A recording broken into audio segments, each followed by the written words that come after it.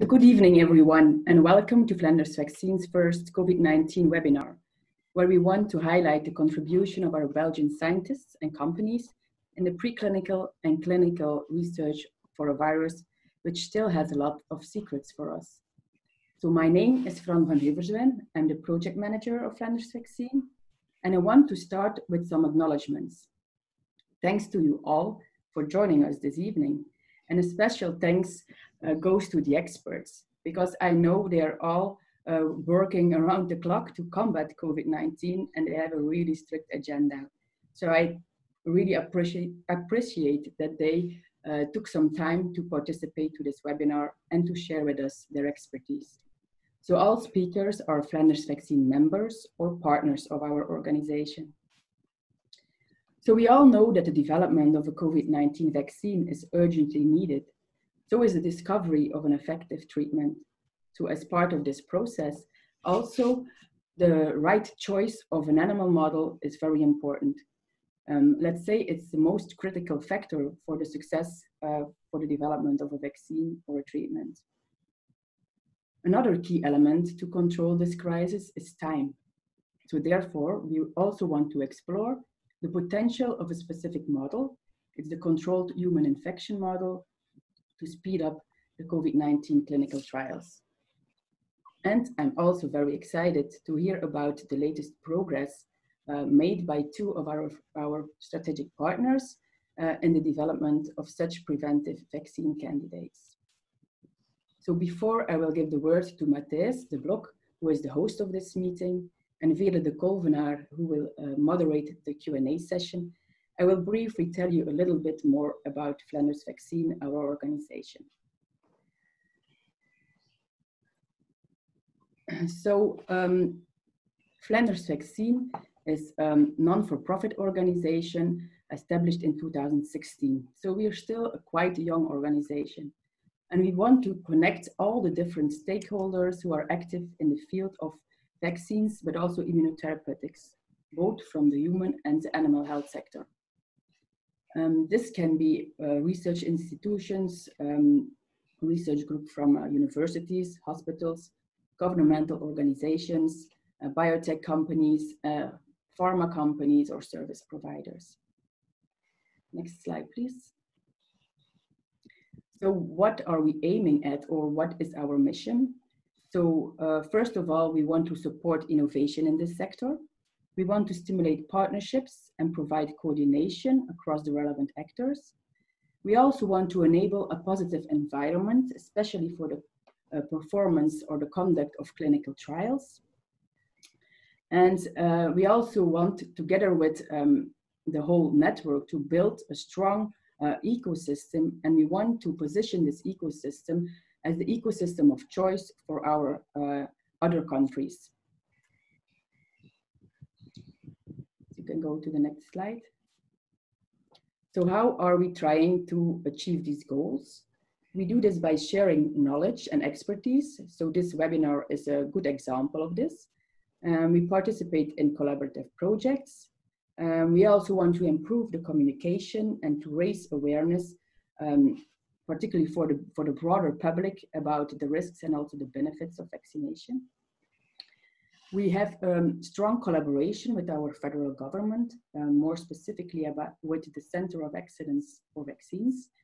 And together with them and together with the three um, vaccine clinical centers here in Flanders, uh, we're also working on the simplification and standardization of the documents and procedures to apply for clinical studies. So we are also organization, organ, sorry, we also organize um, different kinds of activities like this webinar and matchmaking events or uh, bigger conferences. And of course, we are always open uh, for collaboration with other networks. Next slide, please.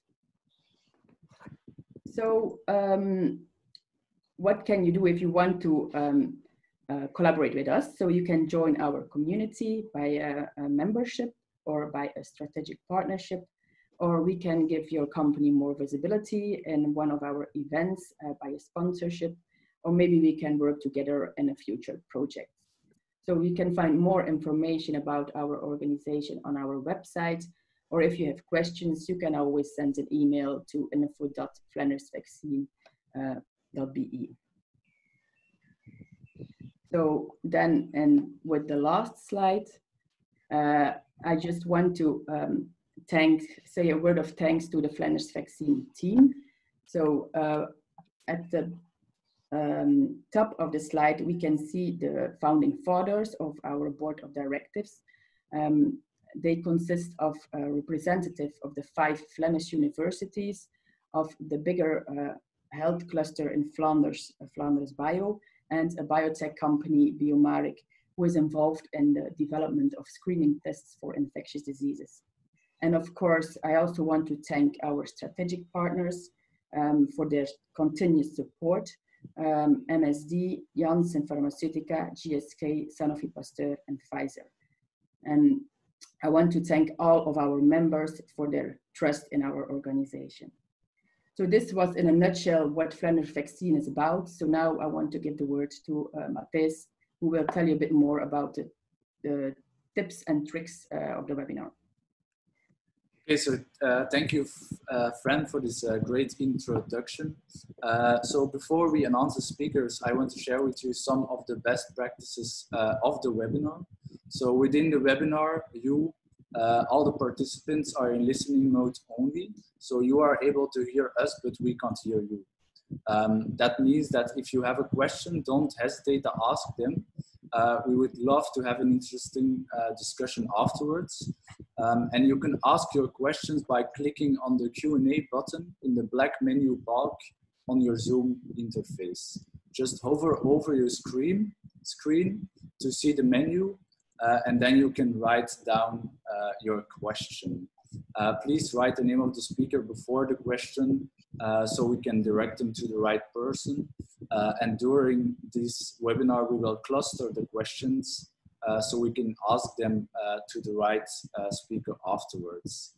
Um, we will apologize in advance because it's possible we will not be able to answer all the questions due to lack of time.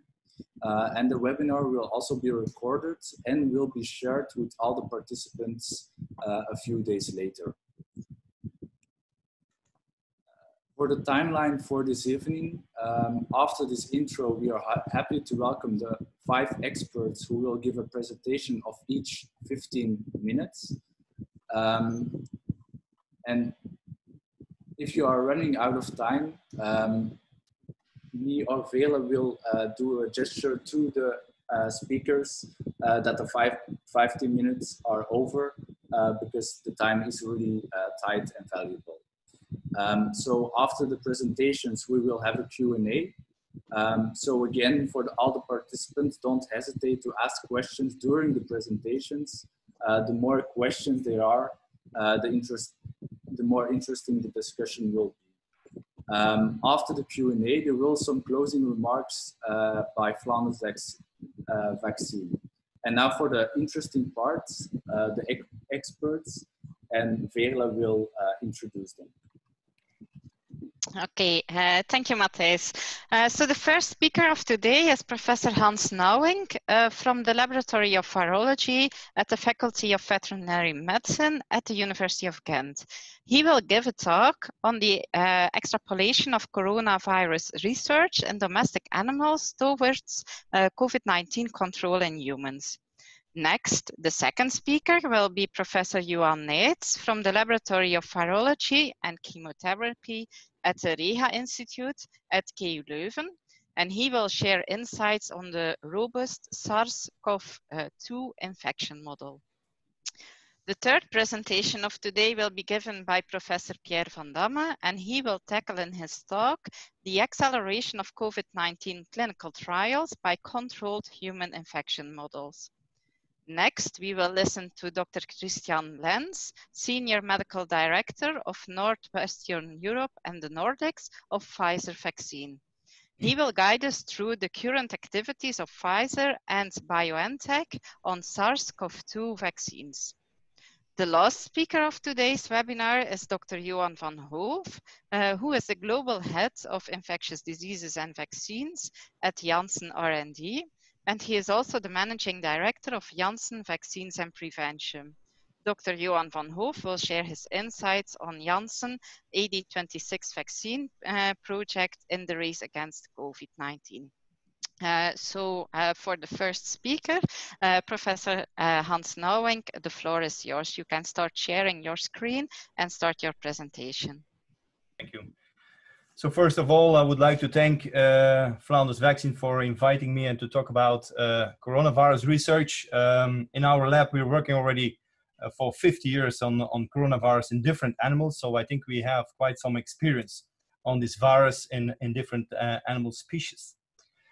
Um, this is the an overview of the uh, Nidoviralis because that's the order, and there you have different um, uh, families: the Arteriviridae, the Mesoniviridae, the Coronaviridae, and the Rouniviridae. The Arteriviridae, they are just uh, a family a family of uh, members that are uh, infecting uh, mainly macrophages and are not known in human beings. So we will not talk about these ones. We have the family here of the Mesoniviridae. Uh, they are just viruses of insects, and Rouniviridae are viruses of shrimp, also not of importance uh, today. Main uh, family that is interesting is the Coronaviridae, and in this Coronaviridae we have two uh, subfamilies, the Coronavirinae and the Torovirinae. And as you can see here uh, with the Coronavirinae, we have a lot of members, and they are all classified in alpha, beta, gamma, and delta coronaviruses. And most of them are infecting mammals, uh, the gamma coronavirus, that's an exception, they're infecting uh, birds. As you can see, uh, all uh, species have at least one uh, coronavirus, so this is a very uh, big family of, of different members. And as you can see, I made a kind of a drawing here. Every virus has a specific tropism for mainly intestinal tract or given with the intestines or lungs given with lungs. So as you can see, uh, most of them go uh, directly uh, to those um, to the those tracts and cause there are some disease. Some of them, as you can see here, some of them also go for neurons and can cause some neurological disorders. And a few of them, as you can see here, can also go for the kidney and cause some kidney failure. But um, now I would like to, uh, you know, go to the next slide, and I would like to classify them in. Uh, so the previous classification was based on on genetics, uh, what I do now is I'm a, a pathogenesis person, and I, I, would like to cluster them in in the pathogenesis. So uh, on the left you see the intestinal tract, uh, and on the right you see the respiratory tract, and on top you see the different members uh, focusing on the intestinal tract, and some members that are focusing on the in, on the respiratory tract. And at the bottom here you see that some viruses can uh, cause viremia and use the blood circulation to get in some more internal organs, just like the kidney, oviduct, and also some uh, vessels and, and uh, other tissues.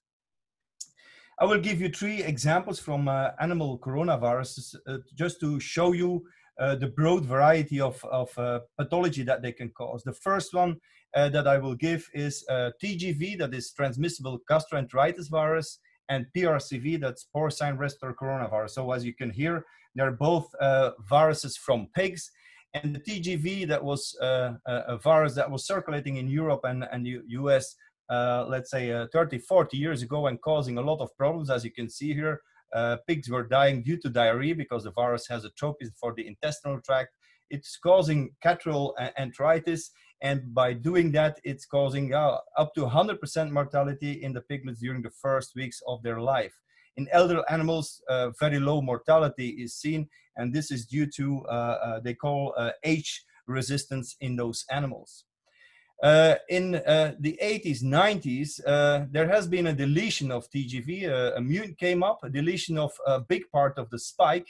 this was 224 amino acids that was that were gone, and this was causing a loss of the sialic acid binding domain. And by that loss, we saw that the virus was moving from the intestinal tract to the respiratory tract and was causing their replication, was uh, inducing their replication and causing there, as you can see here, some uh, uh, problems in lungs. Uh, this virus is circulating nowadays 100% uh, on all the farms in, in Flanders and it's causing subclinical infections. So it's of no importance in, in, uh, in the veterinary world.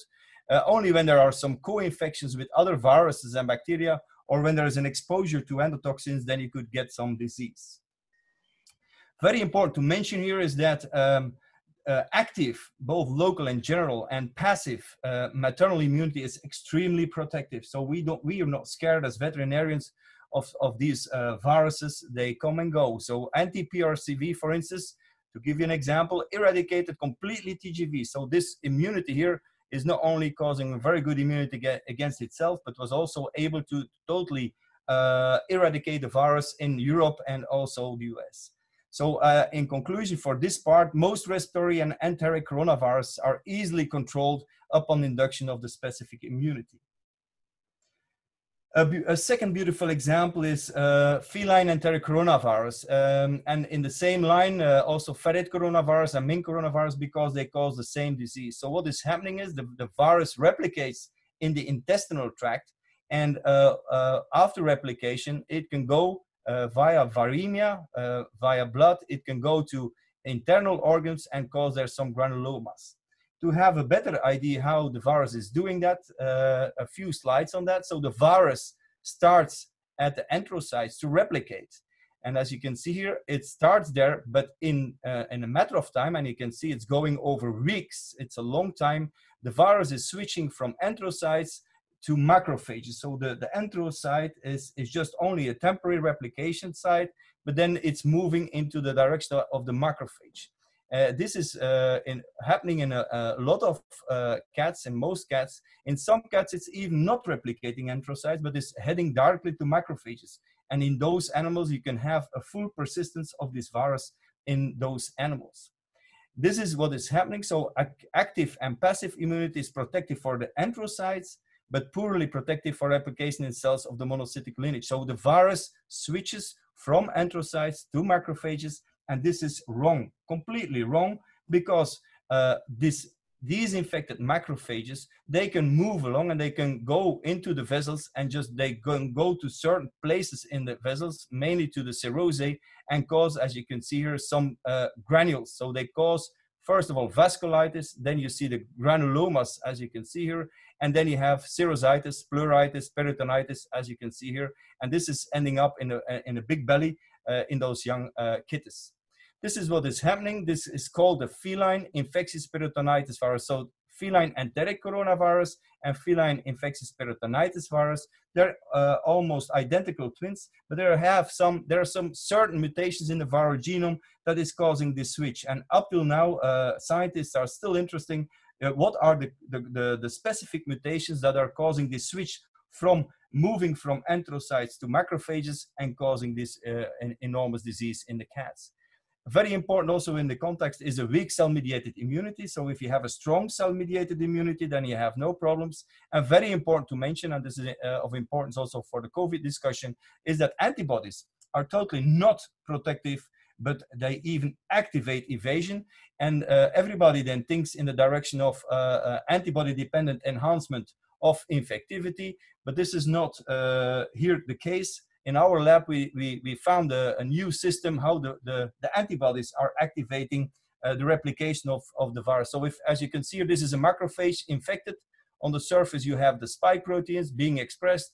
If you have the antibodies, then you will see in time, after one minute, you see already a lot of these um, clustered glycoproteins that they enter the cell. And after, in, uh, in a longer time, you can see that the, the glycoproteins are totally gone from the membrane. So you get an immune evasive cell that is uh, uh, getting away from the immunity so the, the cell can produce virus without recognition uh, of antibodies. And this is a very dangerous thing. So when uh, this coronavirus can enter in a macrophage then it is out of uh, control by antibodies. The only thing to control it and that's why the cell-mediated immunity is mentioned here. The only thing to control it is only uh, the cell-mediated immunity. That that is the the the, the, the, the branch of the, the immune response that control this uh, this virus. Just to tell you, this causes 100% mortality. We call it in in the, the vet world the killer coronavirus, and it's killing uh, even up at this moment. It's killing one to five percent of cats. If this would be human beings, of course, this would be a, a big issue I can tell you it's almost impossible to get money for this, for this research, and this is sometimes a frustration as a veter veterinary virologist. Very important to mention here is also that all vaccination approaches failed, so uh, mainly because those antibodies are just activating the whole pathogenesis and are not blocking it. A third example and last example that I will give is uh, infectious bronchitis virus. It's not in mammals, this is in, in poultry. And this virus starts in the respiratory tract, that's given here, and then goes further, can go further to the kidney, causing nephritis, or to the oviduct, causing salpingitis. This is a work that we did in the lab uh, because I was always interested how the virus uh, could start in the respiratory tract and then go, uh, you know, in the direction of the kidney. And um, uh, recently, uh, uh, three to four years ago, I had here an Indian um, student, and he totally explained how the virus is first replicating in the epithelial cells of the respiratory tract and as you can see afterwards, this virus is able to infect monocytes macrophages, as you can see here underneath the epithelial cells. And these are the cells that are carrying the virus in the blood in the direction of uh, the kidney, causing nephritis. So uh, everything uh, depends on here on this stage. So some strains can uh, cause a productive monocyte infection, reach uh, the kidneys and cause their damage. This is also a thing that is well known in uh, MERS-CoV, MERS coronavirus. There they have seen that also kidney failure can occur, and this has also been uh, correlated with the infection, productive infection of monocytes macrophages. Very important to, to say that this is causing respiratory problems, sometimes kidney failure, uh, and again here, uh, in contrast with the feline enteric coronavirus, an active local and general and passive immunity is very protective in chickens. So uh, there we use in, in chickens successfully uh, mass vaccination. We use uh, attenuated va uh, vaccines for that. We just use core spray just to spray on the, on the chickens. And also we can vaccinate them via drinking water. So uh, I can conclude here the, and I will give you some veterinary take home messages for people that want to then later discuss and try to compare and, and, and, and think about, you know, what could come in the, in the, in the future because this coronavirus will not stay only with, with the COVID-19, of course. So first of all, we can say that animal coronavirus have a, a, tropism for intestinal or respiratory tract, that several animal coronavirus have an additional tropism, and this is very important for cells of the monocytic lineage, which makes them very dangerous because that gives the virus uh, a, a, power to invade and to reach kidneys and oviduct and causing their uh, infection and that they also could, uh, like feline enteric coronavirus, virus, causing vasculitis and granuloma formation. These, uh, uh, so these viruses can cause enteric and respiratory problems dependent on the viral strain, age, and a co-infections.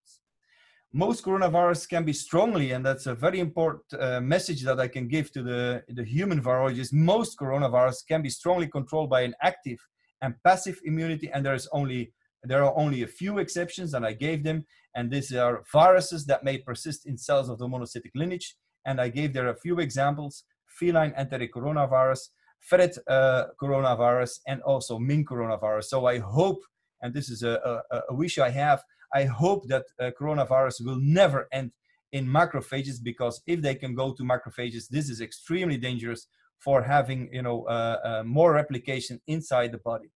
And very important is to, to tell that vaccines have been successfully developed. So I do not understand the big discussion always on the radio and television uh, asking people, do you think that the vaccine will work? Of course, the vaccine will work. I'm 100% sure. The only thing we need is time and to try to get it as fast as possible on the market. So I have no doubts that it will work. And this is the end. So I hope I'm within time. And this is kind of a, a snap a snapshot on uh, you know what we did on coronavirus in uh, in the veterinary world. And uh, if people have questions, uh, I'm uh, open to answer them. So thank you very much. Thank you, Professor Nauwink. You can stop sharing the screen and then we move on to the next speaker, uh, to uh, Professor Johan Neits, who can start sharing the screen and start the presentation. Uh, like said, um, we can take uh, questions through the Q&A uh, panel and uh, we will group them per speaker at the end of the webinar. So please enter your questions for Professor Nauwink in the Q&A panel and then we will come back to them uh, later on. Uh, Professor Neits, the floor is yours. Thank you so much. It's an honor to, uh, to have been invited. And uh, as you can see, I changed a little bit, the, I extended the title of my talk. Um, and just to be able to add, uh, as a speaker coming after Hans, uh, another animal on my first slide. So the hamster model as a working horse uh, for antiviral and, uh, and vaccine testing.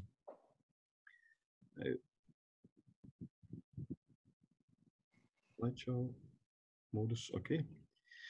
Okay, so um, as, as many of you may know, besides working on vaccines, we work also on the development of, of small molecule antivirals and to be able to test uh, whether these uh, antiviral compounds and, and vaccines work, you need, of course, a small animal model. And so we first turned to, to mice. Uh, and so we used wild type mice and we used also SCID mice that are deficient in B and T cell immunity. And we used uh, IFNI knockout mice, so in type 1 interferon deficient and interferon lambda uh, knockout mice, uh, in the hope that we would given the fact that we don't have access for the moment to ACE2 mice, um, transgenic mice, that we would see some good replication in, in mice. And to make a long story short, as you can see, if you compare wild type mice we, with SCID mice, we do see some increase, about two, one to two log um, increase of the virus in the lungs of these animals, but this is by far not sufficient to, uh, to uh, test the, uh, the potency of vaccines and, and compounds. Uh, when we look at this IFNI mice and this interferon lambda knockout mice, we do see at least for the IFNI mice, if you compare day three here in blue for the wild type and uh, day three for the IFNI mice, that the IFNIs have a bit more of this um, of, of this virus, but still uh, not uh, not that much. Um, and uh, also when we, well, I mean, it's actually, it's replicating a virus because if you look here at the triangle, when we heat and activate the virus, uh, there is less to be uh, detected in the lungs. So this is definitely replication, but it's uh, by far not sufficient. It's replication because if we do serum transfer of human convalescent serum to these animals, you do also see a reduction. And here uh, in the lower end of the slide, we do show that there is basically almost no pathology in these mice. So um, this was sort of for us the end of the story. We needed to uh, to come up with a better model, and so we um, developed a model in in hamsters. And uh, here we have basically we were lucky to have not only wild type uh, Syrian hamsters, but also uh, STAT2 knockout and interferon lambda knockout hamsters. So basically, what we do we inoculate these hamsters with the uh, with the virus. And I forgot to say that this virus is a Belgian isolate from this first uh, person that came uh, to Belgium, uh, back to Belgium. And we look at passage four and passage six and cell culture at different days after inoculation.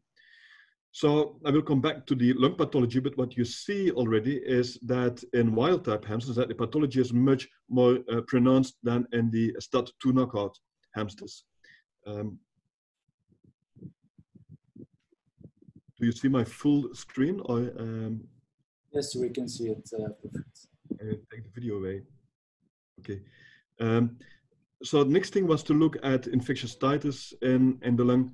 And here uh, in panel B, you see for the wild type and the knockout hamsters sort of similar titers of viral RNA. You see a bit more of the infectious virus titer in the lungs and the um, and the STAT2 knockouts. But what is remarkable, and this is in panel E and F, is that in STAT2 knockouts that you have um, quite pronounced dissemination uh, in, in the blood and in several organs, the spleen, the intestine, and the liver.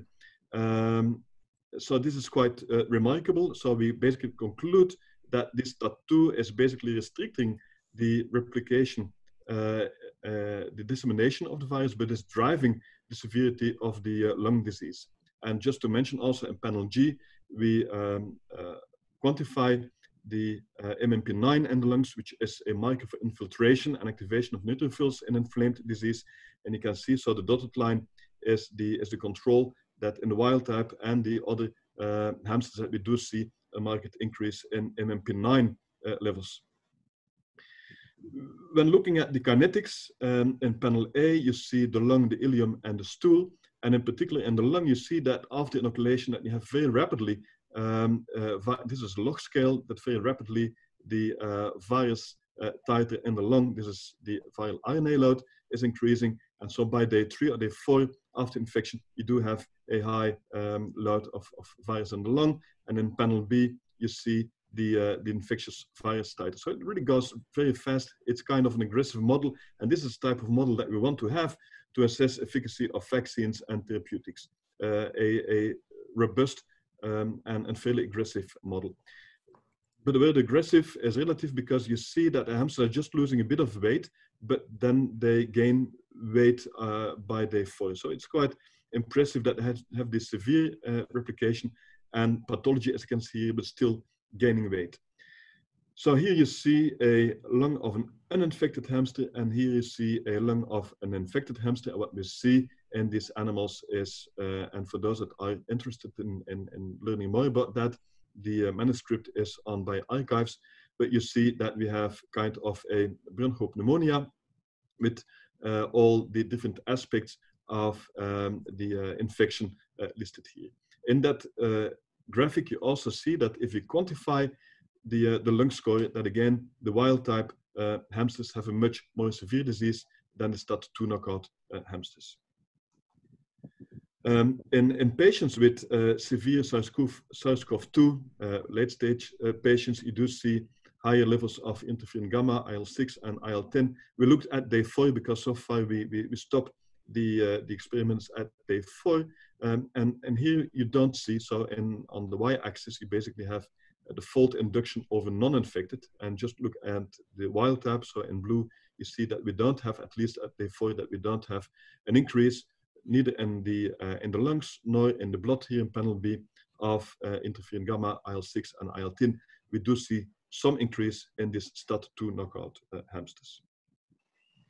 Now, we, we want to monitor um, basically daily uh, if we uh, uh, treat animals with, with an antiviral compound, for example, or an antibody, or if we have vaccinated hamsters that we, that we challenge, we want to see basically day by day, without having to kill the animals, what the evolution is of the disease is and the, and the different treatment conditions. So for that reason, we implemented uh, micro CT uh, scanning. And you see some scans here at the left-hand side. Uh, and at the right-hand side, you see a, a, summary of some of this data, and you see that the lung image score in black and uninfected animals is normal. In the wild type animals, you see in blue that this is going up, which is in line with the uh, histopathology. And again, also in the STAT2 knockouts, you do see that there's um, very little um, uh, uh, damage to be seen by uh, microCT in the lungs, which again correlates with what I was just explaining in on the other slides. And interferon lambda is behaving a bit as, so the interferon lambda knockout is behaving a bit as the wild type uh, hamsters. And here you see another uh, view at this, um, at the histology and the micro CT scan. So in panel A, you do see a healthy uh, lung. In, um, panel B, you see in some of the animals, you do see hyperinflation. Uh, and then a CT scan that is um, is clear by the much darker, the much more black uh, uh, um, image than in this healthy animal. And here in the uh, panel C, you do see a lung with bronchopneumonia, and clearly here you do see also that signal in the, in the CT scan. Uh, I will skip that one for the sake of time. So the um, the next question is, I mean, can we look at the effect of, of, of drugs? You may know that, well, of course you know, that hydroxychloroquine has been given to, to patients and uh, it's clear that this is not doing very much. It can even be harmful, uh, causing cardiac toxicity. Also, azithromycin has, uh, this was with, uh, introduced by this team in Marseille, has been uh, given in combination with hydroxychloroquine and, and favipiravir, which is an anti-flu compound, which exerts uh, some in vitro activity against SARS-CoV-2 and against other viruses as well. the, the brand name is Avigan. Um, so we wanted to know if this uh, favipiravir and hydroxychloroquine, either alone or combined with azithromycin, is doing something in this hamster. So it's kind of a busy slide, but I will guide you. So in panel A, you see what we basically do is we copy, we um, quantify at the four post infection, we quantify the viral load, RNA load in, in the lungs. And in red is uh, favipiravir, this anti-flu compound, and you see that we have uh, something like 0.8 to 1 log reduction in, in, in, in viral load in the lung. So it's at least something, but nothing spectacular. You do see with hydroxychloroquine and also the combination of hydroxychloroquine with azithromycin, that there is basically no effect. And this is also the same in the ileum and the stool. Um, and we monitor the body weight and we look at the lung uh, pathology score, and basically the overall message is, um, except for some reduction in viral RNA load in animals that have been treated with this anti-flu compound, favipiravir, there's basically no protective effect. And this is basically also in line with what is uh, seen in, in patients and also what is uh, seen in non-human primates. So the point is also that if uh, one would have had a, a small animal model um, at the time of the start of the pandemic, at the time that, that decisions were made to, to bring compounds into clinical trials, uh, that such uh, animal model would have been a good help. But of course, it wasn't available. Now we have it available, and we are now basically looking at many compounds, what the potential is in reducing viral load also at, at uh, antibodies, uh, together with uh, Professor Salens in Ghent, and at our uh, vaccine. So it's, it's quite a robust model to do that. Another question is, what is the impact? Can we basically monitor uh, transmission. And what we do is we put hamsters, an infected hamster, together with a sentinel. So we infect the hamster and put then the sentinel in the same cage. And then what we see is basically efficient transmission. And just look at the arrow, uh, at the orange, excuse me, the orange um, uh, signs here. So these are the index animals at day four after infection. They have high uh, titers of virus on the lung. And here at the right-hand side, you have the sentinels uh, it's of course not a synchronized infection, but you see that all the sentinels basically become uh, become infected. So that's that's a good model to look at uh, the efficacy of vaccines and therapeutics in, uh, in transmission. And so we did that. So the, the question was, would uh, knowing that uh, favipiravir and hydroxychloroquine, what we saw in infected animals, that we don't see an effect on not much of an effect. The question was, would we perhaps see a bit more of an effect if we give those compounds prophylactically to hamsters when we put them in contact with uh, infected index animals because our thinking was perhaps the aggressivity or the, the level of uh, infection, the viral load when these animals come in contact with each other is perhaps uh, less than if you inoculate the virus right into the nose. So our hope was that in this transmission model, we would at least see some effect of uh, these, these, these drugs. It's a quite kind of a busy slide, but uh, the take-home message is, and you can look at favipiravir basically, and hydroxychloroquine in, in green or the combination that we don't see any protective effect in this transmission model. Um, so we definitely need better compounds, and this is something, but I don't, don't have the time. This is also something on which we work uh, almost day and night. So to conclude, we believe that mice, at least we don't have the ACE2 mice, but that these are not a good model uh, to study vaccines and, and therapeutics. We also showed that in hamsters that STAT2 signaling is, signaling is restricting the dissemination of the virus, but is driving basically the uh, lung disease. And we believe that the hamster model is a really good model to study the effect of therapeutics and of vaccines. And of course, we have many, many, many people that contributed to that. And so I, I can't name them, as you can imagine, but I'm very grateful to all of them. Okay, uh, thank you, Professor Neits, for this interesting talk. Um, you can now stop sharing and then we move on to the third speaker, who is Professor Pierre van Damme. Uh, Professor van Damme, you can start sharing the screen and the floor is yours. So the title that was given to me is um, How Can Controlled Human Infection Models Accelerate the Clinical Development of a Vaccine, in particular COVID-19 vaccine? Uh, just to give you a, little overview of what is ongoing for the moment worldwide, and as you can see, uh, this is a slide from the World Health Organization showing the development of COVID-19 activities, vaccine activities around the world with uh, activities, of course, in Europe, uh, also in Southeast Asia, Australia, and the north northern part, part of, uh, of the US, clearly no real activity in the African region, which is uh, uh, for sure a, a, a, issue for later on when we talk about or when we would discuss uh, the deployment of vaccine programs.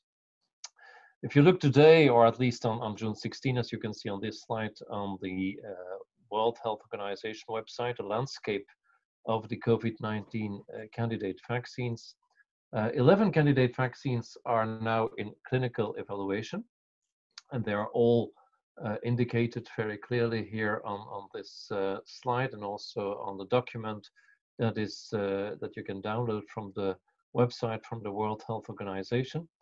Uh, and uh, I just took a copy of the first candidate vaccines that are in preclinical evaluation.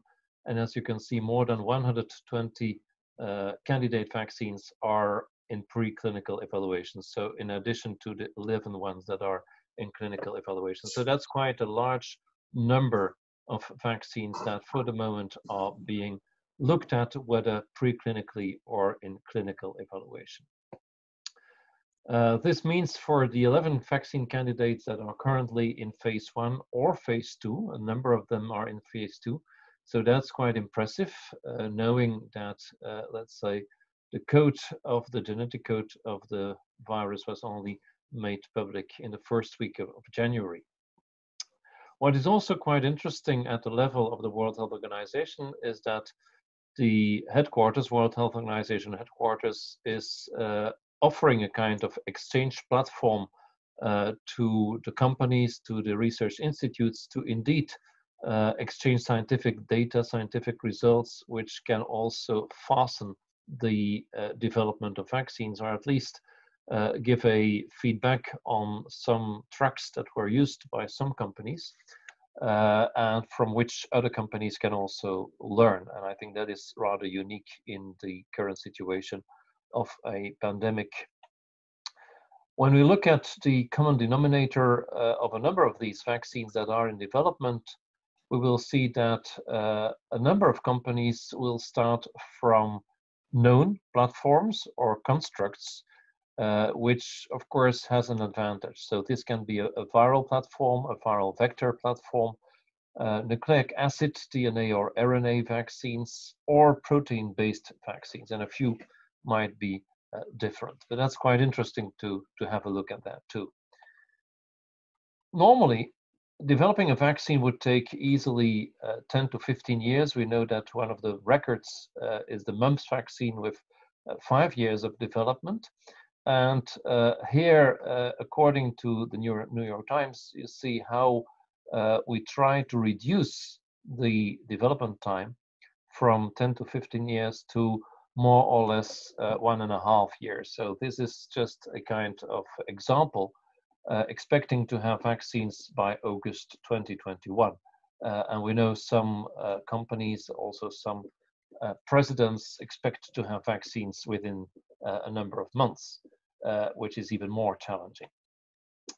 So what can we accelerate in the development and in the testing of vaccines? Um, well, starting from existing platforms helps, uh, not only in the construction of a vaccine, but also uh, vis-a-vis -vis the uh, regulatory uh, authorities, because they start to know something about what is used in the construct and in the platform of vaccines. And that might also fasten or ease the approval process. Uh, we know that some countries allow first use in human without animal studies or animal data, which is rather unique, but also, of course, this can fasten the whole preclinical pathway and let uh, companies start earlier with uh, human trials.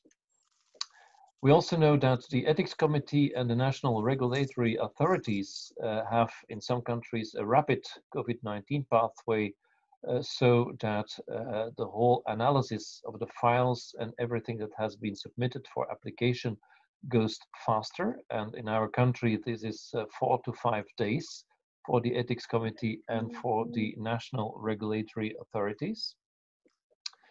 Um, and then, of course, the, uh, the, the whole discussion is now: can we even fasten the conduct of a phase three trial, uh, efficacy trial, by um, conducting controlled human infection model trials? And I, I come back to that.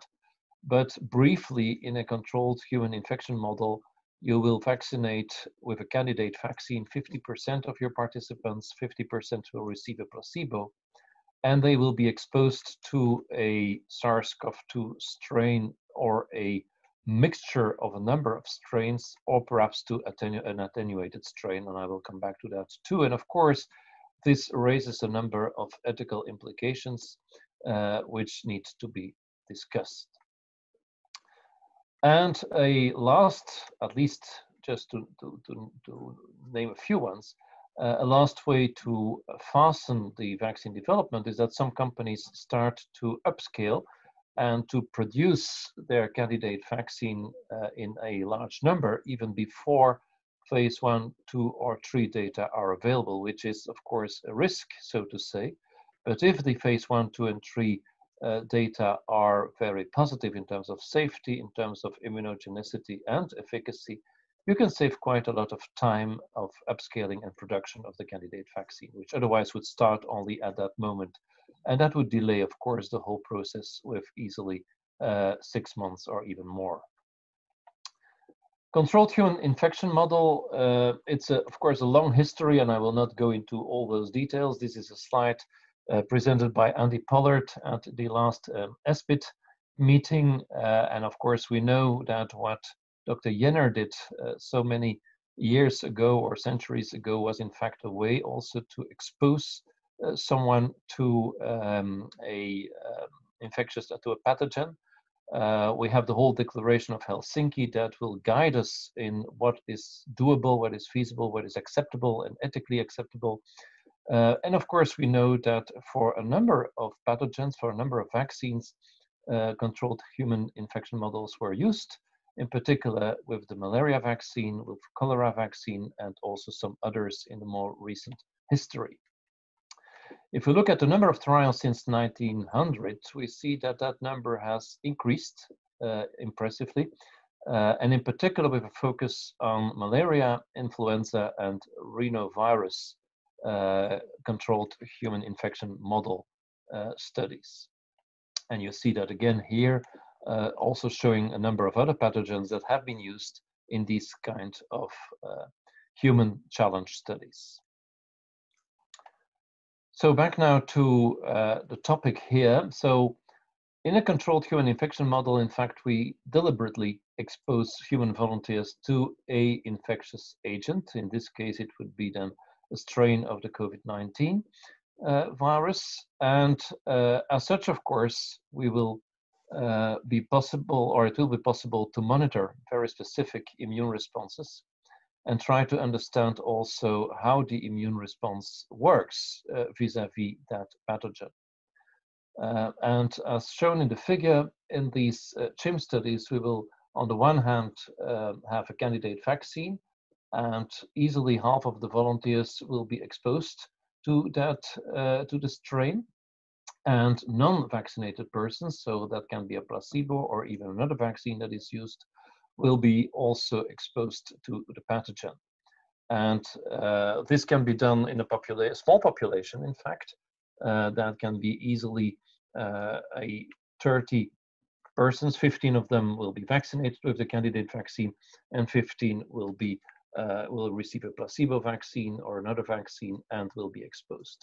And so quite rapidly, uh, it will be shown whether the vaccine might protect according to a number of um, determinants that uh, will be followed up in the vaccinated uh, population. On the other hand, of course, also the non-vaccinated population will be followed up to clearly see how many disease we will have in both populations. This is a picture or a figure that comes from the CDC uh, Centers for Disease Control Atlanta, where you can see that normally after the preclinical trial, we will have the phase one study. And as I told you, a number of COVID-19 vaccines are now in phase one study.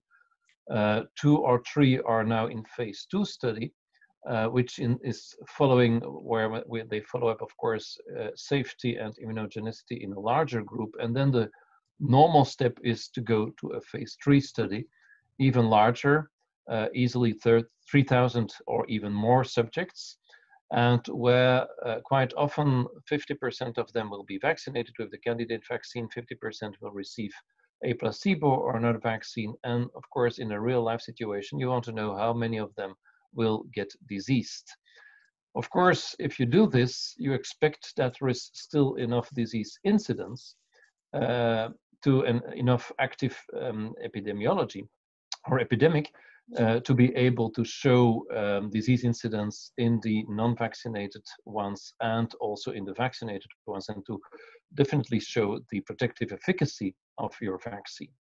this is for the moment a, a challenge, uh, and we have been discussing also with colleagues in the UK, uh, in particular with the Oxford-based um, vaccine, and it's the same situation for some other vaccines that are now uh, in phase two, is whether a phase three is uh, feasible. Uh, if the incidence is that low, you have to increase very often your number of, of volunteers, not from not to 3,000, but to 10,000. Uh, and of course, you have to follow up that cohort perhaps for a longer period of time, or you have to move your study to a more endemic area. Uh, Latin America, South America could be a possibility, but of course, also there, sooner or later, the epidemic might uh, decrease, or the, the, the, force of the epidemic might decrease, and the incidence might decrease as well. So a way to try to avoid this situation and also to fasten the development and the testing of the vaccine is to use the uh, controlled uh, human infection model study. Uh, and this can be done in parallel with a phase two or after a phase two study, uh, instead of a phase three study, or in parallel with a phase three study, but then the phase three would be used to document even more the safety and the immunogenicity of the candidate vaccine, whereas the CHIM study would be able to document the protective efficacy of your vaccine. And that, as you can see here, would reduce, of course, the development time and testing time of the candidate vaccine easily by one year. So that can be quite uh, interesting. Now, evidently, those uh, CHIM studies can have opportunities in terms of cost reduction, time reduction. Uh, it can also have a very predictive value for efficacy trials. You can compare different vaccines in terms of their efficacy. It can be quite complementary with the large scale uh, phase three studies. Uh, and it offers you an opportunity also to better understand the, the disease, the infectious disease, the pathogenicity, and also the correlate of protection. So it has quite a lot of opportunities. On the other hand, of course, uh, there are limitations. Uh, the potential to cause harm and all the ethical considerations uh, when we use, if we would use attenuated strains, uh, the question is, are these strains uh, representative for the circulating strains? Uh, can we still extrapolate the results then? Um, you can say that the inoculation is different in in the CHIM situation, in the CHIM trial, compared to a natural infection. Depends how, of course, the exposure will be. The legal uncertainty uh, is important, and we need to well understand the legal framework, and uh, there is quite some work being done on that. Um, and of course, the trial population very often used in CHIM studies are young, healthy people and not exactly the population that is at risk of the um, consequences, serious consequences of the uh, infectious disease. So in the recent discussion that is, has been done or has been uh, occurring in science and in nature, um, what came out are a number of, of interesting uh, discussion points. First of all, the human challenge studies could take advantage of the low rate of death in the younger population, the 18 to 29 year olds, where we know that the death rate is 0.03%. So death is rather uncommon, but not completely negligible. So again, this raises ethical issues. Uh, we should have a rescue treatment. Um, and here we know that remdesivir and convalescent serum are two possibilities, but not, I would say, 100% uh, effective, or at least this needs to be further demonstrated. Of course, volunteers need to be free of any coercion. That's very important. Um, volunteers might include those at higher risk of exposure is another pathway to think about how to recruit volunteers for these human challenge studies. You can start first to expose volunteers who have serological evidence of a prior SARS-CoV-2 uh, infection, could be a way to start. And the next step to expose to a lower dose of virus or to an attenuated strain, but also that has some uh, consequences. Of course, the strain that is used, the question is, is that produced under GMP? Uh, do we have clear indicators or biomarkers of attenuation? And is this standardized? Is there a harmonization process for this? And uh, as I said, the question remains whether phase three efficacy trials will anyway be feasible because we need a certain incidence, it has consequences for sample size, and of course for study duration. Now it's interesting to see that there is a website where subjects or volunteers can uh, just subscribe or apply to be a candidate for human challenge trials. And for the moment, more than 28,000 volunteers from 102 uh, countries already uh, presented themselves as potential candidates or volunteers for these uh, challenge trials. So it's interesting to see that in the meantime, this is already a process that starts. Now, the World Health Organization uh, drafted a very nice and interesting uh, document recently, uh, more than a month ago, on the key criteria for ethical acceptability of COVID-19 human challenge studies, where they recognize that these kind of studies can uh, substantially fasten the conduct of vaccine trials on the one hand, you need fewer participants, and uh, you can easily then also demonstrate the efficacy of your vaccine. And at the same time, you can also uh, validate some tests uh, for immunity to SARS-CoV-2. You can identify correlative protection, investigate the risk of transmission posed by infected individuals. So it has more um, potential than just uh, showing the added value in terms of documenting efficacy of a vaccine.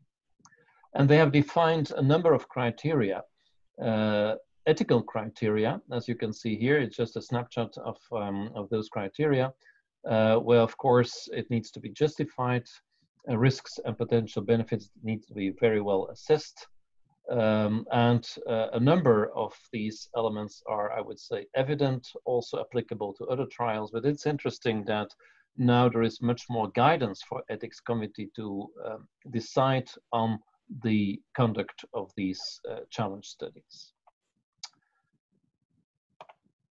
Professor Another, can we kindly ask, ask you to go to the conclusions and sake sure, of time? Yeah. I just, because my slides will be available, there is a nice draft document, uh, a more than 100 page document, uh, also on the further conduct of these trials. And I just want to, um, uh, I think this is, yes, this was my last slide. So the question remains, should emergency use of a SARS-CoV-2 vaccine await collection of controlled data from large populations that are experiencing epidemic disease, or should we fasten vaccination by moving quickly through human challenge studies in volunteers? That's the key question. Thank you for your attention. Uh, thank you, Professor Van Damme, uh, for your talk. Uh, you can now stop sharing. I invite the last speaker of today's webinar uh, to start sharing. Uh, this is uh, Dr. Johan van Hoof. you're welcome to start sharing and the floor is yours. Good afternoon, everyone. It's a pleasure to be here and to provide you an update on where we are within Janssen with our uh, COVID-19 uh, candidate vaccine. First, I really would like to um, share with you the reasons why we decided back in uh, January of this year to step into this field. And what are the reasons uh, for us to be cautiously optimistic that we can contribute to this, uh, uh, to this fight against the virus? And there are actually made two major elements why we are uh, that cautiously optimistic. The first one is what we have learned from the first SARS virus and the homology between the SARS virus that circulated in the beginning of this, uh, uh, the century and the virus that uh, circulates now. Uh, as you know, there's a lot of homology and both are using the spike protein to enter the cell, attaching itself to the ACE2 receptor, which is uh, expressed in many organs, but predominantly also in the lower respiratory tract. Uh, what we have learned from the SARS-1 uh, time is that it was possible to develop successful candidate vaccines that were actually successful in protecting animals against infection.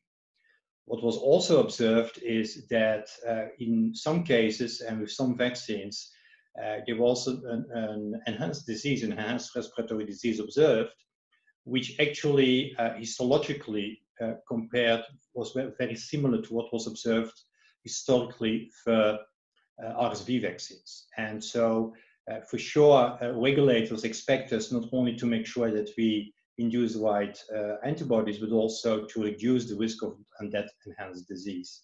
And a lot has been learned from the RSV vaccines. Uh, preclinical models have been developed to, uh, to study that for RSV. And uh, we, it also has been shown that the risk is, is significantly higher if this is a Th2 uh, type of uh, immune response. Now, uh, as a result of this, uh, most, if not all, of the vaccines currently under development do actually have similar target, which is really uh, uh trigger very robust immune responses against the spike protein, uh, either with antibodies, neutralizing antibodies, and ideally also together with, uh, with cell-mediated immunity. And depending on the platforms, uh, you might see different characteristics, but at the end of the day, that is what we all want to achieve. At the same time, regulators want us to make sure that we reduce the risk on enhanced disease and hence ask us to really start uh, studying preclinically uh, the fact that we don't see this in our animal models when there are breakthrough infections and that we will make sure that we have a clear Th1 response in animals but also in humans. Now, the second reason why we are optimistic we can do this is that actually we have learned a lot from the platforms that we are using. Within Janssen Vaccines, we acquired back in 2011 uh, a series of vaccines and technologies. There are two platforms that we are particularly excited about. One relates to the cell line that we're using, which is the PER.C6 cell line, which is an immortalized human cell line that can be grown at very high cell density and because of that, uh, results uh, add to, into very high yields. To give you an idea, our Ebola vaccine, which received a uh, positive opinion from CHMP about two weeks ago, also is leveraging this technology. And uh, out of two bioreactors, uh, you get more than 300 million doses on an annual base.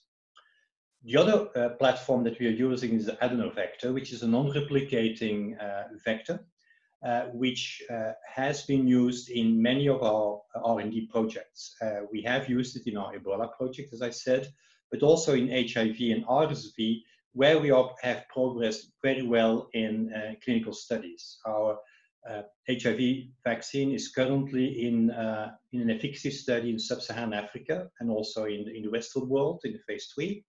And our RSV vaccine just finished a proof of concept study uh, in the US, and we soon expect to have the readout. As a result of this, the platform already has been used in more than 60,000 uh, people. When we look to the key attributes of what we have observed uh, of the immune responses across our different projects, is that we have consistently seen that we had robust and durable, long-lasting cellular and humoral immunity. We also have extensively studied platform in context of a pediatric uh, RSV vaccine, showing in preclinical models that there is no evidence of increased uh, inflammation, which actually has allowed us to go into seronegative children, uh, and that in, in consultation with the regulatory agencies. The vaccine has been used in more than 67,000 people, including children down to the age of four months, including people over 65 years of age, including also HIV positive people and pregnant and lactating women. And so from that perspective, I think it's reassuring for regulators when they consider going fast into large scale studies or eventually implementing a, an emergency vaccination to already have substantial safety database. As I already said, PER.C6 uh, is already uh, scaled up at 1,000 liter uh, bioreactors and we anticipate that we can produce and have a large amount of vaccine available already by the end of this year, early next year. We also see that we have a favorable thermostability profile at 2 to 8 degrees, which makes it a good candidate also to be able to be distributed in the regular, uh, in regular vaccine distribution channels. On the right-hand side, you actually see a panel which was uh, uh presented at a workshop at, organized by WHO in February 2020. And we see that actually the key attributes uh, for vector-based vaccines uh, correspond and, and make us very well positioned. This is just an illustration of uh, the type of immunogenicity that we observe with uh, this vaccine. And what we see here is actually uh, two doses, two uh, different antigen levels of uh, the adeno 26 uh, given for Zika phase one, Zika phase one vaccine, and then comparing it with vaccination with an inactivated adjuvanted Zika vaccine that was developed by Walter Reed. These samples have been assayed in the same lab, and uh, needless to say that we do see, as of two weeks after the first dose, substantial amount of subjects having already neutralizing titers. It's, these are the neutralizing titers that we're showing here.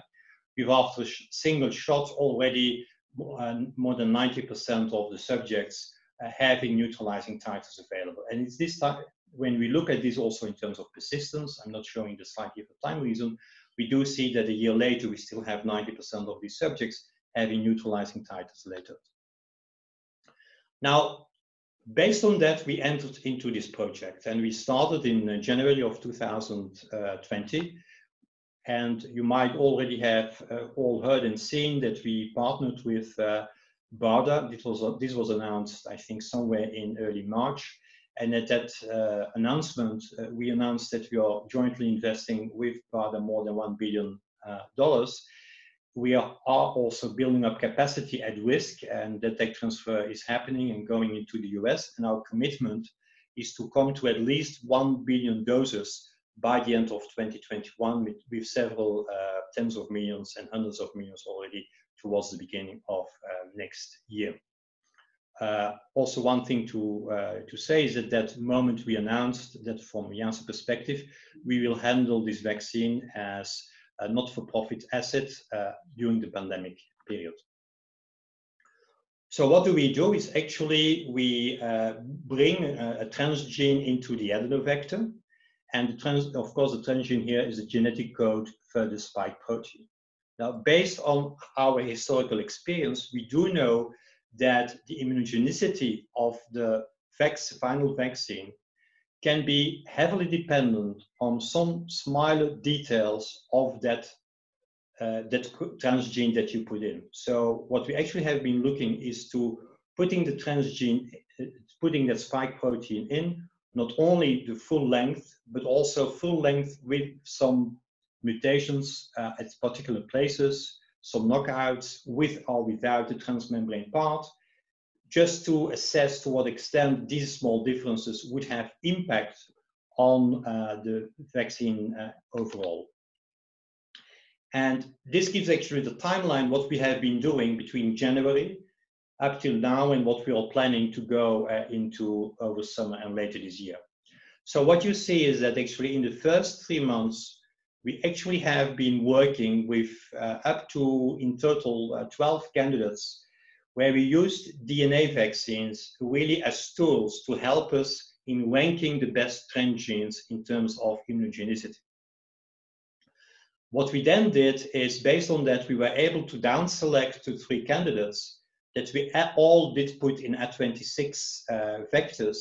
And then we uh, looked at them again using the same uh, models to look into immunogenicity and efficacy, both at the upper respiratory tract and low, lower respiratory tract uh, uh, system.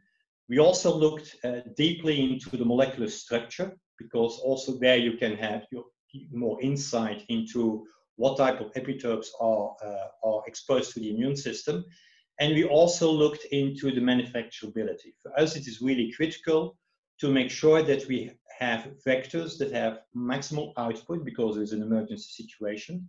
And so based on this, uh, we also uh, had the selection criteria to took that into account. And then uh, earlier than, than uh, planned, actually, we were able to come to the selection of the lead candidate. And we have uh, started the production of the master seed. It actually is already done. And so we are now producing uh, the the phase one batch, and our aim is to go into the clinic by the end of the month in Belgium and in the US. Now, before doing that, and, and for evident reasons, I cannot uh, show any unpublished data uh, today, so I will have to be limited to limit to myself to publish data. What we have been doing here is to develop a uh, non-human primate model that uh, actually on the left-hand side, what you see here is a vital, vital curve of the, the primary change. And afterwards, uh, what is interesting to see is that these monkeys clear naturally the virus. But when you try to rechange them a few weeks later, you actually see that they are protected. And that is actually uh, also reflected here, where you do see that uh, this is the uh, peak viral load after the primary change. And after the rechange, you see that uh, most of the animals actually, time-wise, they all clear the virus very rapidly. And these are the, the peak uh, peaks that we have observed, uh, which are reflected here. So it is actually this model that we are then using to evaluate potential uh, efficacy or protection of the, the animals. We do see this also published in Science. We do see some uh, signs of uh, pneumonia in the in the lungs, although overall these monkeys don't have much clinical signs. What these data show actually is that uh, and this is also published, we then use these DNA constructs after two injections, and you see that we actually had pretty good neutralizing titers, neutralizing titers that are actually about at the level of what you observe in convalescent sera, and also the, the sera that we, uh, convalescent titers that we observe in the non-human primates. When you look then uh, to the type of protection, then we see that these are the viral loads, and we are using subgenomic RNA here. So this is really reflection of viral replication. It's not a remnant of the challenge itself. You do see that several groups already started to have substantial reduction of viral load, as opposed to the sham. And you also see that there are differences between the different uh, uh, different transgenes. And that's exactly the reason why we want to see this. We're not only interested to see this viral reduction in the lung, but also we want to see a viral reduction in the nose. In addition to that, I will wrap up in a minute. Uh, in addition to that, we do see that there is a direct correlation between the neutralizing title and protection, which is also very happy to, uh, to look into. So uh, what we have seen based on all of this is we, we, do substantial protection in this animal model. We actually have data also in hamster, which will soon be published. The final candidate, its immunogenicity is higher. The challenge is ongoing, and actually I've received the data yesterday, and I must say we will be very pleased. We are very pleased, and we'll uh, uh, publish them uh, very soon. And I think that with this, if I understood correctly, I should conclude. Is that correct? That's that's correct. Thank you, Johan. Thank you. I can uh, share. I can uh, address questions on the clinical trials during the Q&A. Okay, so thank you, Johan, uh, for the interesting presentation and all the rest of the speakers for uh, the interesting uh, presentations. So at the moment, we will go to the Q&A sessions. We have clustered all the uh, questions, which were a lot, so thank you for that. Uh, and Veerle will lead uh, the discussion and select some of the questions and ask them to the speaker, speakers. So the floor is yours, Veerle. Um, to uh, start with, we will um, uh, uh, we will uh, start with two questions per speaker. Uh, so the first questions uh, go to Professor Nouwing. the first question is from Danny Hovaerts. it considers the animal coronaviruses. Which animal coronavirus do you think would most resemble the COVID-19 human virus? Well, I think uh, the best one would be porcine hemagglutinating encephalomyelitis virus, which is a, a weird virus, has not been studied, studied uh, very, very recently, but there are, are, old papers from our lab showing that there's tropism for respiratory tract and also for some neuroepithelium, and that would be very interesting. Uh, so this, this virus is in our freezer, and I'm, uh, I'm willing to take them out and have a look again. So um, that would be a very interesting model for, for COVID-19. Okay. Uh, second question that was addressed to you uh, came from uh, Professor Leroux. is there any evidence of cross-reactivity or cross-protection, either at B cell or T cell level, between the animal coronaviruses and the human viruses? Well, that's that's an interesting one, and uh, uh, we're doing now some um, some analysis uh, on that. And we have seen already that antibodies against the, the feline enteric coronavirus, I have presented that virus. Well, antibodies against that virus can cause some cross-reactivity with SARS-CoV-2. And this is very important because in the, in the field there's a, already a, a serological test out there that is based on the nucleocapsid and I'm convinced that that will uh, have some problems because uh, we have seen that there is a lot of cross-reactivity against the nucleocapsid of, of uh, SARS-CoV-2. So there's there's a huge uh, importance in that, and people should be extremely careful because you can imagine uh, if they will use it in the field, they will end up with 10% positive cats, and they will wrongly conclude, of course, that these cats were a victim of COVID of SARS-CoV-2, which is which is not correct. So I think uh, people should be very, very careful uh, with those serological tests. Okay. Um, if if uh, people that uh, hear their questions want to add another question related to that question, you can always put it in the Q&A and I keep an eye on it to uh, interact. Um, now uh, we go uh, to Professor Neyts. The first question uh, for Professor Neyts is um, written by Mr. Haak from Ziphius Therapeutics. Um, the question is if there is also looked at other organs in the mouse model than the lung, like it was checked in the hamster model. Yeah, no, we did not. So we initially checked the lungs because I think this was most relevant uh, for what we need to know. Um, and because of the application that was on lungs so low, we basically did not spend time in, in quantifying replication in other organs.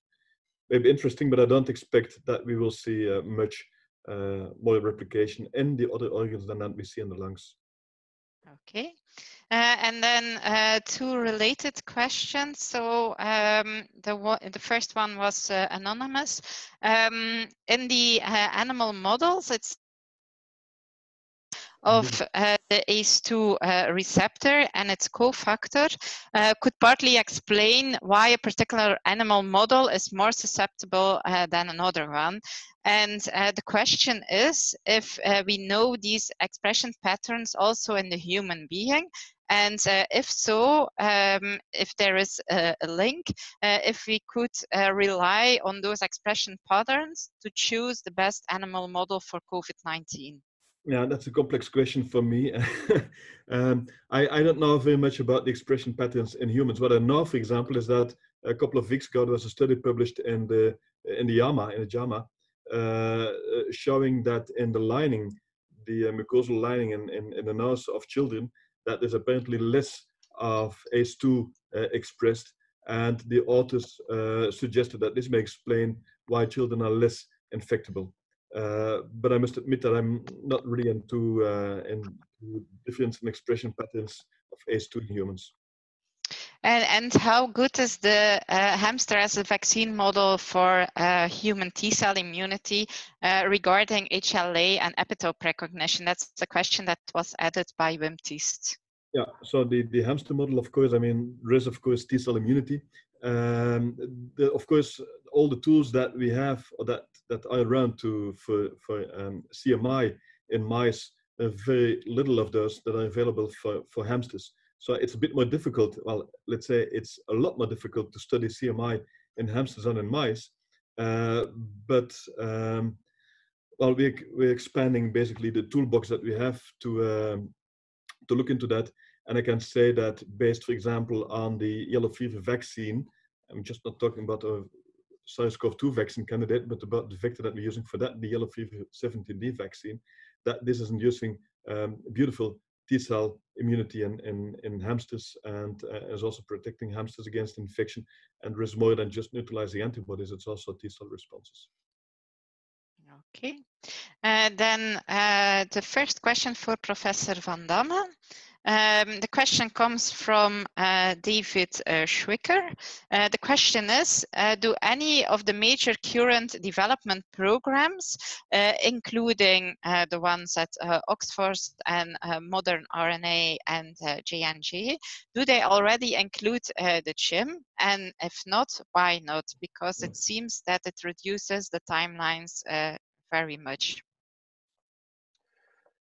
Well, thank you for the question. And as we have uh, two companies also participating, we could ask, of course, uh, Christian and Johan, uh, whether that would be considered in their vaccine development. I think for the moment, of course, um, there are uh, a number of ethical issues, and one of these issues is that we don't have really a effective uh, treatment uh, to be to offer to um, to those who are exposed to the vaccine and would suffer compli- uh, to, to are exposed to the pathogen and would suffer a complication of the pathogen. So one of the conditions, of course, is that you would be able to uh, to offer a decent uh, therapy, uh, and that also needs needs time. So once that would be available, it could be, of course, that uh, CHIM studies might be added to the vaccine development plan of the respective companies. But perhaps I, I would like to hear what Christian and Johan are considering in in their vaccine development we from our end certainly are very interested in this, but exactly for the point that you made,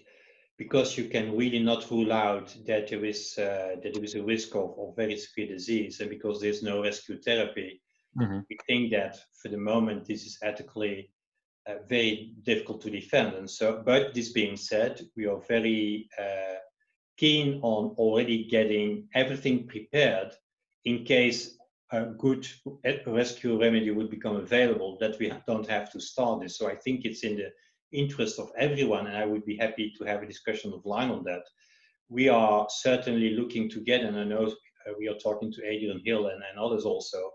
Uh, we think it, we really should work on that model now, such that uh, at least having the, the GMP stock available, uh, well characterized in uh, preclinically and so on, and then once we do have a solution to, to the ethical hurdles, that we can immediately start this. But people should realize that even if you have every, all the tools available before you can really start this, there's a lot of work to be done. Maybe uh, related to that, um, Dr. Van Hoof. Um, there was a, an additional question that uh, given uh, the acceleration and the process that the, the CHIM um, enables, um, do you think that it will be like a more exceptional case uh, in uh, the COVID uh, battle? Or do you think it can uh, become the basis of a, a better paradigm uh, change in uh, vaccine development and uh, vaccine clinical trials? I, th I think that the COVID situation is a very particular situation, and, and therefore I do think we should look into all potential routes to come to an earlier approval. This being said, there are also limitations to human challenge trials, and, and I think for a company and for people, it is an important uh, way of de-risking your vaccine. If you have evidence from a human challenge trial. Well, it's in the public domain. We have done a human challenge trial for RSV, and we were very, very happy to see a result. And I think we were one of the first ones to observe this. But it certainly does not substitute for a full-blown uh, efficacy trial. Of course, in the setting that we are in with COVID, the situation is different. But uh, either you you usually don't want to go to severe cases in your challenge trial, so you try to to dose the virus such that people get some symptoms but are not too ill. Uh, and hence, you very often have to use an attenuated strain. And then uh, the question is, how relevant is that for the clinical situation? So I, I think I strongly believe in the need for human challenge trials. And uh, in this particular case, I hope that indeed it could be an alternative if we don't find the place to do an efficacy study.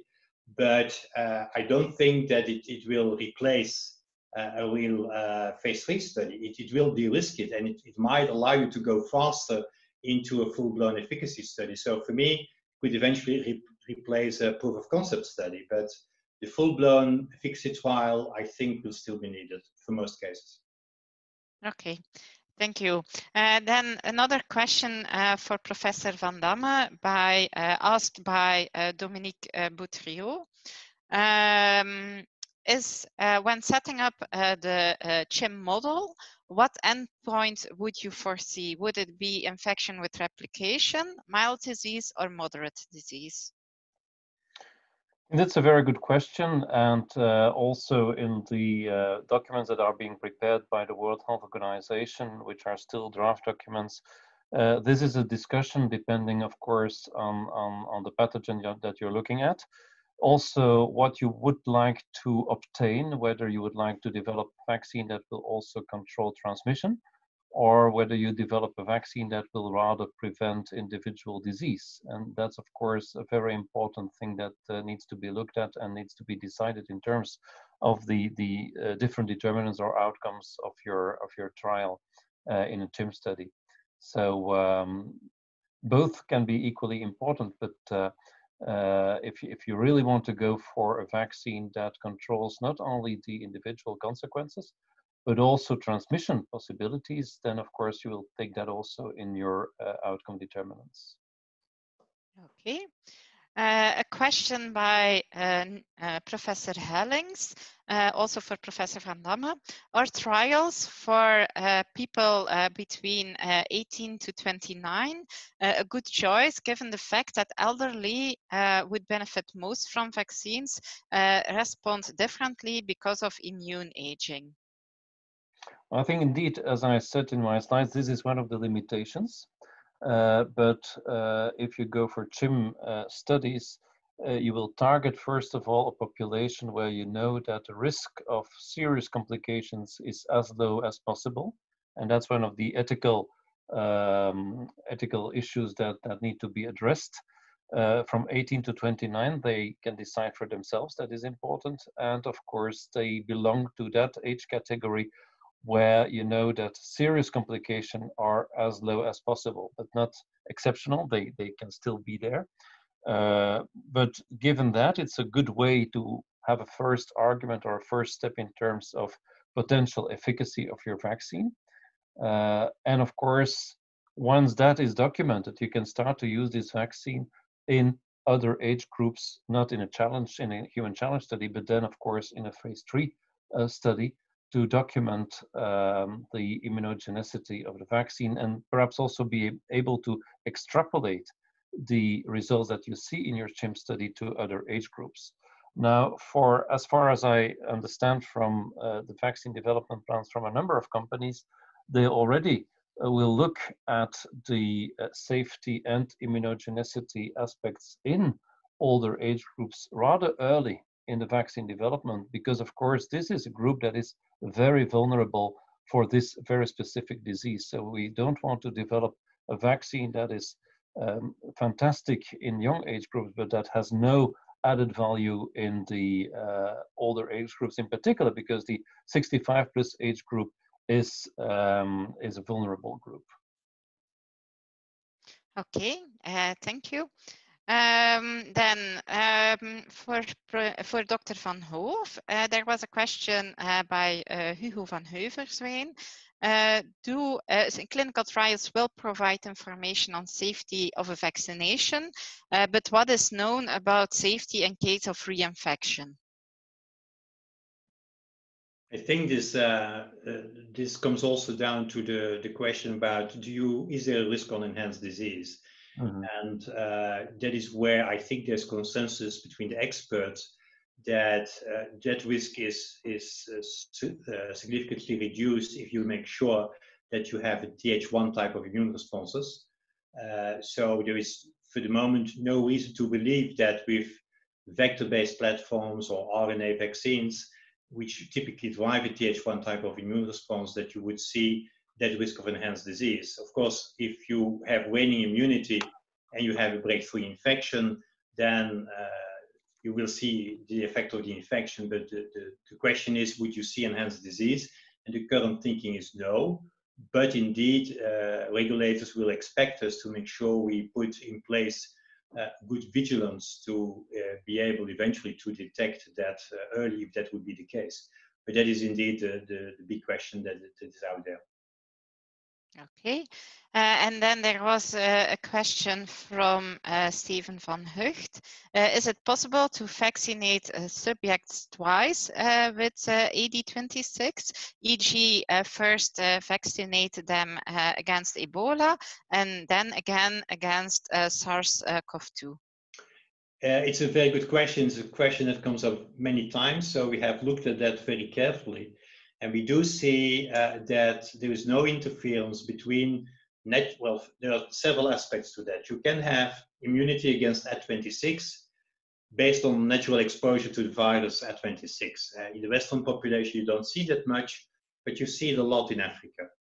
Uh, thanks to our programs in Africa, we've been able to study that, st that element in detail, and we have seen no interference between the immune response uh, pre-existing uh, titers for Ad26 and the response to, Ad, to Ad26, uh, the vaccine as such. So that's the good news. The second one is, could you eventually boost uh, and, and, keep using the same vaccine uh, because of concerns about potential interference? And there we have clearly seen also that you can continue to use the same vaccine and boost it.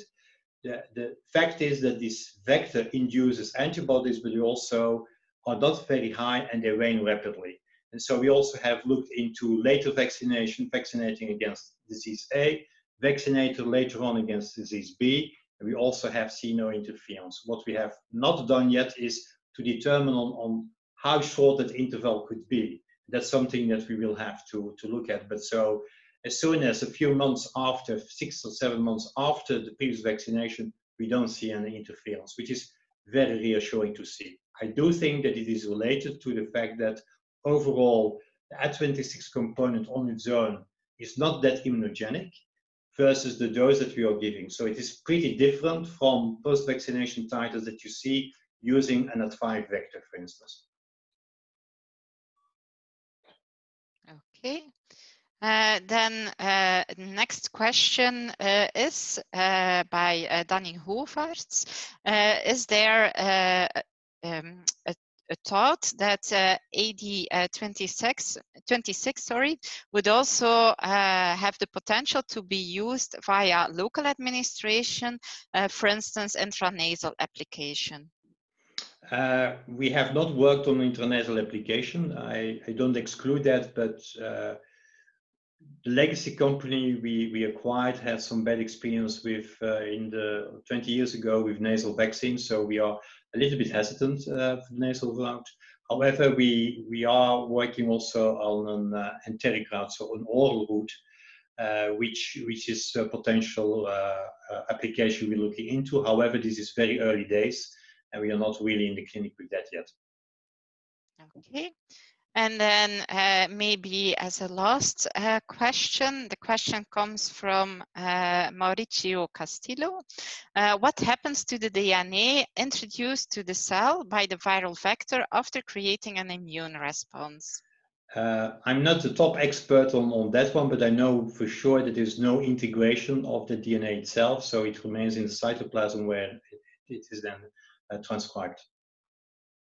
Okay, thank you. Uh, so by this, I think uh, we uh, have to end uh, the Q&A uh, and, and um, uh, given the, the time frame. so I would like to thank all the panelists and all the speakers and all the people that raised questions in the Q&A panel. and now I would like to give the word back to Fran to end the webinar. So I hope you all enjoyed uh, this session. Um, before I will close, I want to thank again uh, all of the speakers of today's session to share with us even their, their latest results of their groundbreaking research. I also want to thank the team of Conigi and um, Katrien Achten from BioVille for support uh, in the organization of this uh, webinar. And of course, I want to thank all of you for taking time out of your busy day to join us today. Um, I also want to uh, share with you that if you have some feedback or um, some questions related to our organization, you can always send them um, to info uh, at flandersvaccine.be. And um, I also want to invite you for um, our next webinar, uh, which will take place uh, same day, uh, next week, same time and same location. Um, so we also we have again a really exciting program. You can see it here on the screen, and you all you can also check it on our website. Um, so I hope you all enjoyed, and I wish you a very nice evening.